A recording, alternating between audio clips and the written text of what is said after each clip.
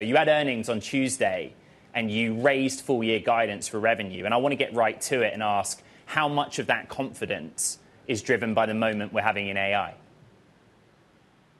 Yeah, first off, thank you for having me. And, uh, um, you know, just a fantastic quarter for us. We were able to beat and raise, uh, maintain our strong cash flow profile, and continue to accelerate growth, which is really fantastic. Um, uh, another point on the quarter is that trial starts, uh, number of people trying our core product was the highest of any uh, quarter, even including pandemic quarters, which were record highs for us. Um, you know, as you mentioned, and as I, you know, spent a lot of time talking about on our uh, earnings call, um, AI is something that's you know we we actually know a lot about. Our industry is no uh, stranger to it. I, I, I would say two things about it. Um, one is sort of you know where Squarespace is right now and and where we're going in terms of uh, where we take uh, things with AI. So Squarespace stopped um, the need for a lot of people who use our platform for programming websites about two decades ago.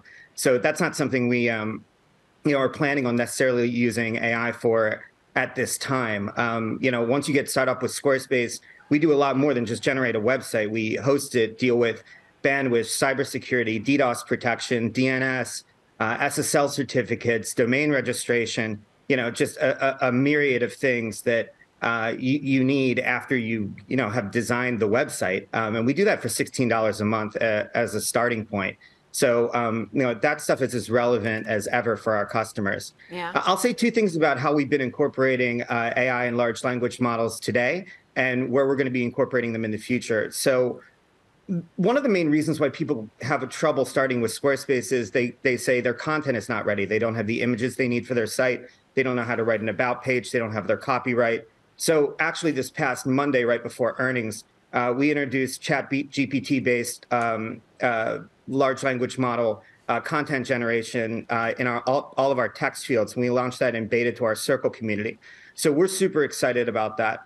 The other Anthony, place I'm super did that, excited, did that yep. moment that you announced that you were integrating with OpenAI, did that clearly make a lift in did your people start to turn to you and say this is exciting this is going to change the dial or or were they just like yes obviously I think it was more of yes, obviously. You know, we've been aware of these models for months. I mean, AI has been part of setup in our industry for, I believe, about eight years. So we've been looking at it um, extensively, which kind of brings me to the second place where we're incorporating AI. Um, in Q1, we launched something called Squarespace Blueprint, which lets people get started building a template and bypassing our template store. That's a perfect spot for us to integrate essentially prompt engineering on top of a large language model you can tell us more about what you want, and we can generate those sections for you uh, so that you don't have to be picking a full template out at once. So perfect places where we uh, expect to see a lot of AI tailwinds. It's interesting, isn't it, Ed, at the moment that poor people come on to want to talk about their general earnings and we go straight for the AI focus. But a lot yeah. of this is about how on earth, Ed, I think people are going to be coding in the future. People are going to be yeah, building yeah. in the future.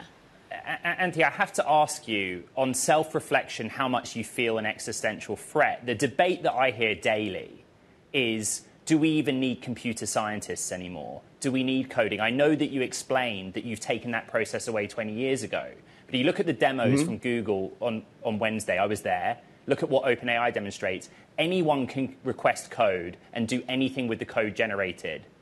So, what's the point in Squarespace?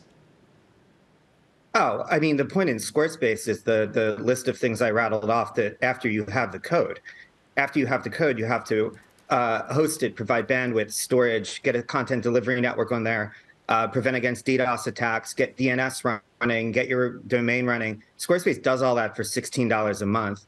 Um, if you were to also then pretend, not pretend, but believe that all of our uh, you know all the programmers in the world are are suddenly going to be out of jobs, which I certainly don't believe, um, then it would be very interesting because then we would be modeling our company at what something like a 70% free cash flow after we can run it without employees or something. That's nothing we believe in. You know, we um, uh, we have a fantastic creative and engineering team, and we're building that team, not thinking about a world where they don't exist. Ah. Um, further, in, in in other areas like um, you know customer support we've had uh, ai based uh, chatbots implemented for over five years we monitor deflection right. rates those are only better with gpt models So we anticipate um, yeah. really a lot of tailwinds from these technologies being incorporated in Squarespace in the content generation and the setup process. Yep. And we think it doesn't really detract much at all from the infrastructure we provide.